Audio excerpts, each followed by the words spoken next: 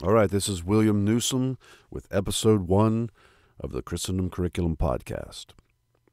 Our question today is this Is Narnia multicultural? Ever thought about that? We're going to talk about it today. As you may know, both C.S. Lewis and his Chronicles of Narnia have endured charges of racism throughout the years, but then who hasn't, right? When the big screen version of The Lion, the Witch, and the Wardrobe came out in 2005, The Guardian published an article Narnia represents everything that is most hateful about religion. That's just one example. When even great men like C.S. Lewis can be accused of racism, no one is safe from the charge. And among those Narnia fans who think that racist is the worst thing that can be said of a man, well, I suppose it's understandable that they would want to defend Lewis from those charges. And what better way to do so than by saying, hey, Lewis can't be racist. Narnia was a multicultural society, after all. And there is a superficial plausibility to the claim. After all, Narnia was a nation that included humans, talking animals, fauns, centaurs, dwarfs, and the like. Very different peoples, but all Narnian. The question is this Is Narnia actually multicultural?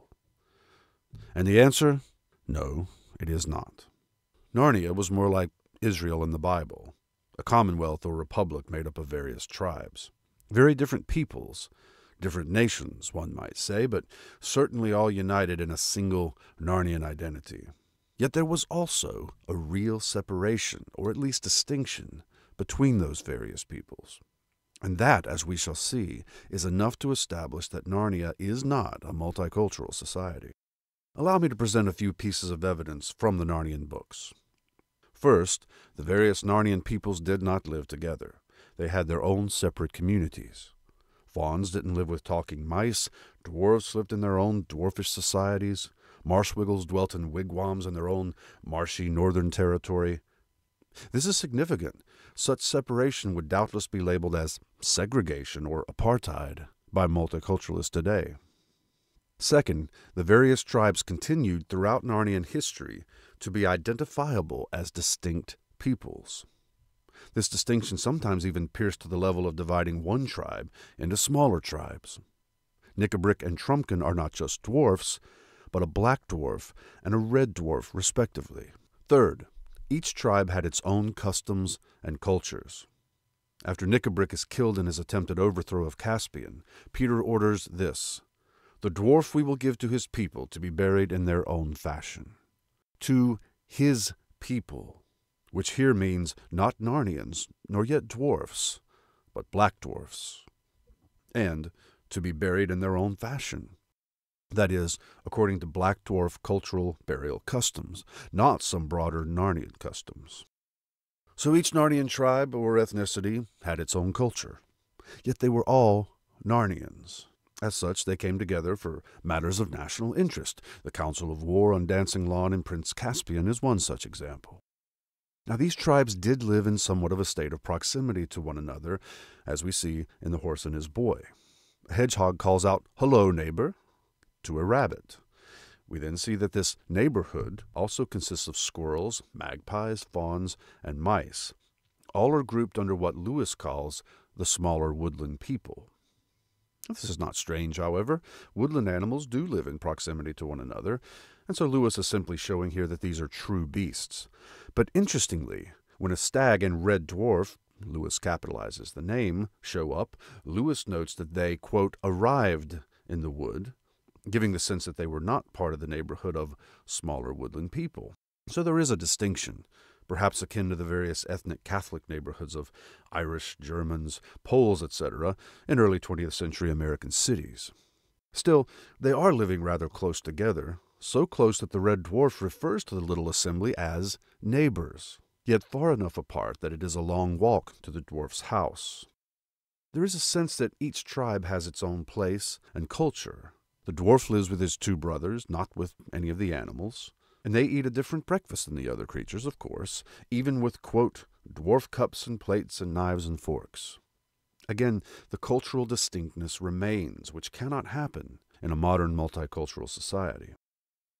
Clearest of all, in Prince Caspian, when Caspian and his new Narnian friends, a badger, a red dwarf, and a black dwarf, set out to call the people that lived in hiding to a Narnian council of war, they visit each tribe or people in its own community, which, again, while they are in somewhat close proximity to each other, nevertheless are also separate, as this series of quotes demonstrates.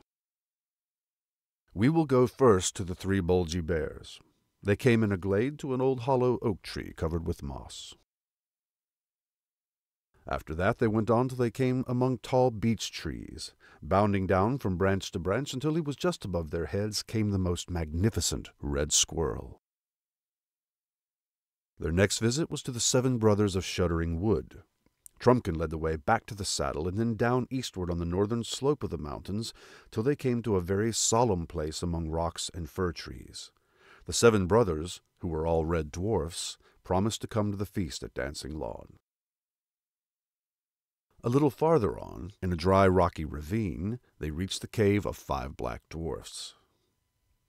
As they came lower down, the mountains opened out into a great glen or wooded forge, with a swift river running at the bottom.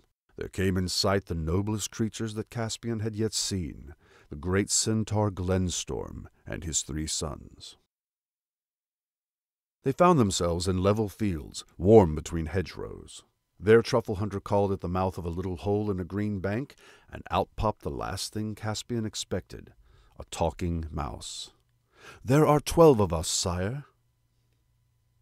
Now, do notice the words of Reepicheep, chief of the talking mice, a designation Lewis also capitalizes. I place all the resources of my people unreservedly at your majesty's disposal. By my people, he does not mean Narnians, but talking mice. Here we see the true nature of Narnian society, a nation made up of various ethnic peoples, all sharing a common national identity, but each with its own territory and culture, and each identified as a specific people. But of course, this kind of setup would be decried as segregation or apartheid by multiculturalists who insist that everyone must live together in the same communities, the same neighborhoods, even in the same families. Now, what unites the various Narnian tribes, of course, is their loyalty to and love for Aslan. Their national identity is therefore primarily religious, not unlike that of the Holy Roman Empire, uniting various Germanic territories under a common Christian banner but the Narnian smaller ethnic identities remain intact. Thus, we may understand each Narnian ethnicity in terms of tribe. But because of the smallness of the land of Narnia, we also see another parallel, one I mentioned previously that of the ethnic and religious neighborhoods in American cities 75 or 100 years ago. Each American in an important sense, but each with its own unique community and cultural and religious life. Thus, we may also understand each Narnian ethnicity in terms of neighborhood. So while these various Narnian tribes or neighborhoods are all loyal to the kings and queens of Narnia, they also govern their own tribes locally and are left alone by the crown to do so. But are they really left alone? Against my thesis, so it seems, we may set the example of Caspian crushing the slave trade in the Lone Islands in the Voyage of the Dawn Treader. Isn't that an example of the Narnian crown interfering with local culture? No, I think not. Clearly, the people there were loyal to Narnia and were not happy under Gumpas, who was flagrantly breaking Narnian laws in a way that oppressed the people through man stealing and slave trafficking with Narnia's international enemies, the Calormens. Now, we should point out that it is possible to make an evil thing of one's tribal or ethnic or national identity. The fate of those who cried out, The dwarfs are for the dwarfs in the last battle, should be enough of a warning in this regard. But their evil does not invalidate the love of Trumpkin for the red dwarfs, or Reepicheep for the talking mice. Now, it must be admitted that Narnia is a bit unusual in Lewis's fictional world that he's created here. The Archenlanders and Lone Islanders all seem to be humans, and European humans at that, while Calormens are all Arabic humans. Narnia alone, it seems, partakes of Aslan's threefold designation of walking trees, talking beasts, and divine waters. Nevertheless, it is the distinctness of the various Narnian peoples that refutes any attempt to define Narnia multiculturally. For multiculturalism today is not a mere tolerance of different cultures. Rather, it is an intentional smashing together of very different cultures, none of whom have the overarching religious unity that the Narnians had. The intention is to overrun the host cultures, always European, with non European cultures so thoroughly that the host cultures will eventually no longer be European in any meaningful sense. That, by the way, is the stated intention of many multiculturalists. Multiculturalism demands that European cultures be absorbed into a new hybridized multiculture that does not allow for distinct Western ethnic life to live and grow, separate from the main multiculture. Narnian tribes or neighborhoods, by contrast, remain distinct throughout many generations and thousands of years. It is at the very beginning, at Narnia's creation, that Aslan declares that threefold designation of Narnian peoples walking trees, talking beasts, divine waters. And these distinctions perdure through the very end of Narnia itself. The various peoples of Narnia, throughout their history, remain distinct from each other, yet they share a national identity, separate, dare I say it, but equal. But this is not a forced segregation, it is a voluntary partition, just as their union in the Narnian Confederacy is also voluntary. Now, there is one example in the Narnian stories that seems to be suggesting a multiculturalist theme, and so we should take a moment to examine it. In Prince Caspian, Caspian's dear tutor, Dr. Cornelius, describes his ancestry thus I'm not a pure dwarf, I have human blood in me too. Many dwarfs escaped in the great battles and lived on, shaving their beards and wearing high heeled shoes and pretending to be men. They have mixed with your Telmarines. I am one of those, only a half dwarf. Now, what are we to make of this? Especially in light of Dr. Cornelius's next words, in which he anticipates what might be called a kind of racism. And if any of my kindred, the true dwarfs, are still alive anywhere in the world, doubtless they would despise me and call me a traitor. This would seem to be an anti racist or multiculturalist theme on Lewis's part, especially since he later writes the following exchange for Nikabrik, who turns out to be an evil traitor, and Trumpkin, one of the best and noblest Narnian characters. Pah, said Nikabrik, a renegade dwarf, a half and halfer. Shall I pass my sword through its throat? Be quiet, Nikabrik, said Trumpkin. The creature can't help its ancestry. Nikabrik later says, and it's all mixed up with that tutor, a renegade dwarf. I hate him. I hate him worse than the humans. You mark my words, no good will come of it. So, is this multiculturalist or anti racist theme on the part of Lewis?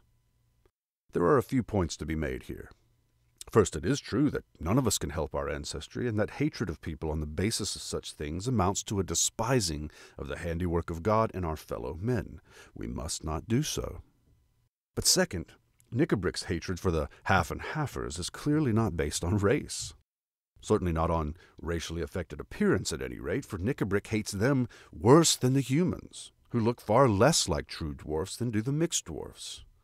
So, not a race based hatred, but a hatred grounded in the fact that the half and halfers are the result of union with the hated Telmarines, who conquered Narnia and dispossessed the Narnians. Third, if this is a multiculturalist theme on Lewis's part, he has a funny way of showing it. He has Cornelius observe a difference between himself and the non mixed dwarfs, which he calls, as we saw earlier, the true dwarfs. Nevertheless, Cornelius identifies with them, calling them my kindred, not with his Telmarine ancestors. Here's what he says But never in all these years have we forgotten our own people, and all the other happy creatures of Narnia, and the long lost days of freedom. Notice first that he makes a distinction between our own people and all the other creatures of Narnia. But also, we here must mean the half and halfers, and our own people, the dwarfs. Cornelius, the child of a dwarf and a human, suffers a kind of identity crisis and chooses to identify with the dwarfish side of his heritage, perhaps as much for religious as for ethnic reasons. Cornelius the half and halfer is an example of something that might be construed as a kind of Narnian multiculturalist or anti racist theme. But since the hatred described is not based on racial characteristics, but on historical associations, and since Cornelius views his own mixed status as making him something less than a true dwarf, I think it is plain that Lewis has no multiculturalist theme in mind here. This is a hard fact to accept, but accept it we must if we value the truth. C.S. Lewis, like almost all past Christians, was indeed a racist, according to the current definition of racism, which defines all European people as inherently racist, and which identifies any desire for the preservation of Western civilization as racist. Racism these days is not about mistreating people because of their race or ethnicity. Christians do not believe in mistreating anyone, but that's not what the word means anymore. And so when I say things like, there is no racial basis for Nikabrik's hatred. I am not trying to defend Lewis against charges of racism. Rather, I'm trying to defend him from his confused defenders, who, embracing a pipe dream of making Lewis acceptable to the spirit of the age, want him to be a paragon of multiculturalism. To put it more strongly, I am assuming that being a racist by the current definition is something of a badge of honor. And thus I am actually trying to prove that Lewis was indeed, by that same definition, a racist, or as he might have put it, an old Western man, and that this is not a bad thing. In summary, Narnia is not an example of the multiculturalism being peddled by today's globalists and cultural Marxists. It is a free confederacy of diverse tribes who, despite their national Narnian identity, still retain their cultural and ethnic identities as unique peoples. Well, that's all for episode one of the Christendom Curriculum Podcast. Thanks for joining us today. You can get a free signed and inscribed copy of my book, Talking of Dragons, the children's books of J.R.R. Tolkien and C.S. Lewis, which includes a chapter on Narnia, when you join the Christendom Curriculum. So visit us online at ChristendomCurriculum.com. Thanks for listening.